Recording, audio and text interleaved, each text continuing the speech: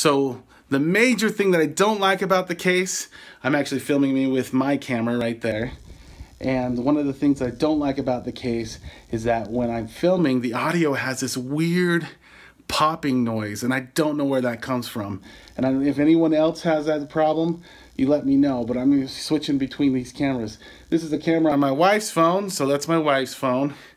And this is the sound on my phone. It's not very good. So there's your review. About 94 bucks.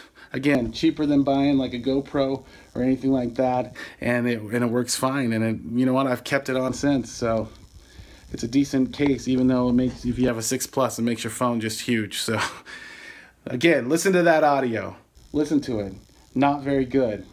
And I, I just don't know why. I've tried to figure it out. I've opened up these little side pockets here and everything. The audio just does not work well. So when we were in the park, I had to sometimes just take off the case and just use my phone how, how it was. When we, by the park, I mean we were at Disneyland, so. There's my review. Hope you like it. Subscribe.